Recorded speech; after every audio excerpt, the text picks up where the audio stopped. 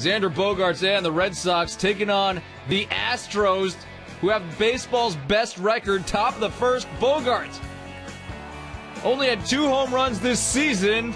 Call that one number three. Boston up by one. Let's go to the fifth. It's 1 1. Carlos Correa. Jack.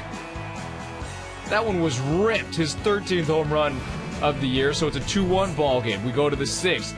Bogaerts again. What? Who is that? Babe Ruth?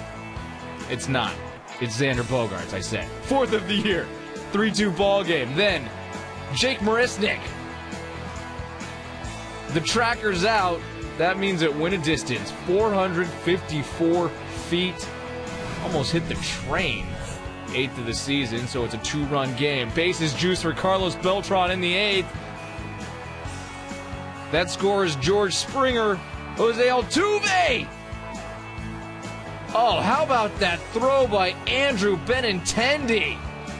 Gets him at the plate, and the Red Sox would hold on to win 6 to 5.